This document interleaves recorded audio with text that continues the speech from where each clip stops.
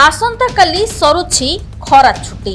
ଏହାରି ମଧ୍ୟରେ ସ୍କୁଲ ଖୋଲିବାକୁ ନେଇ ବଡ଼ ଅପଡେଟ୍ ଆସିଛି। ସ୍ଥାନୀୟ ପାଣିପାଗ ସୂଚନା ଭିତ୍ତିରେ ଜିଲ୍ଲାପାଳମାନେ ସ୍କୁଲ ଛୁଟି ନିଷ୍ପତ୍ତି ନେବାକୁ ରାଜ୍ୟ ସରକାର ନିର୍ଦ୍ଦେଶ ଦେଇଛନ୍ତି।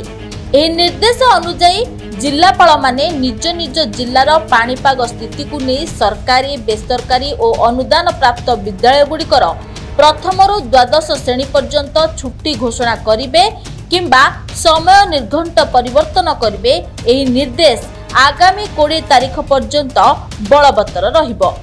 Bureau report mobile news twenty four into seven.